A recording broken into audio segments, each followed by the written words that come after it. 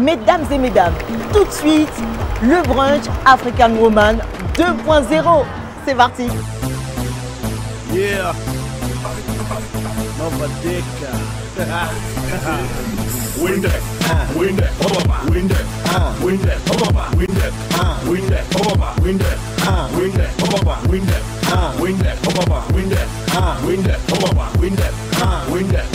DJ.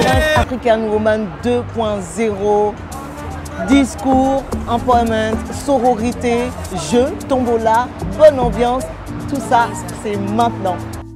Aujourd'hui, force est de constater que les femmes, dans cette ère hyper digitalisée, sont de plus en plus conscientes de leur puissance et de la force de leur impact sur chacune des parcelles de cette nouvelle société.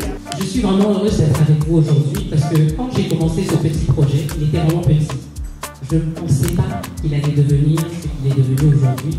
Et j'avoue quand même que je suis fière parce qu'on a quand même interviewé plus de 80 femmes de 10 nationalités à travers l'Afrique.